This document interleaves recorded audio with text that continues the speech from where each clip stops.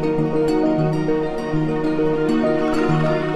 El IBEX 35 inicia la sesión con subidas del 0,11% hasta los 10.598 puntos, espoleado por el dato del IPC de abril que sube al 0,4%, todo ello por el efecto de la Semana Santa y la subida de los precios generados por esta temporada estival. Dentro del selectivo Avertis es el valor que más subía en la apertura de mercados, lo hacía un 2,5%, seguido de Gamesa y su repunte del 1,15%. En el otro lado de la tabla Mediaset era el que más caía, lo hacía un 0,80% y Grifols que se dejaba un 0,09%.